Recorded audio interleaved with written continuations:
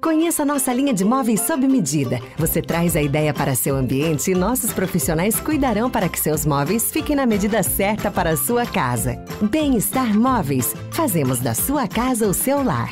Com a prova do Enem chegando, a preocupação dos estudantes e das escolas de ensino aumentam. O ingresso para a universidade e os diversos benefícios que a avaliação do Enem pode trazer são o objetivo de muitos estudantes de todo o país. Na Escola Estadual José Bonifácio de Erechim, aconteceu hoje o segundo aulão coletivo, que é o preparatório para o Enem e também vestibular. Além dos conteúdos apresentados, aconteceram apresentações culturais. Mais de 900 estudantes passaram pelo evento que aconteceu durante o dia todo.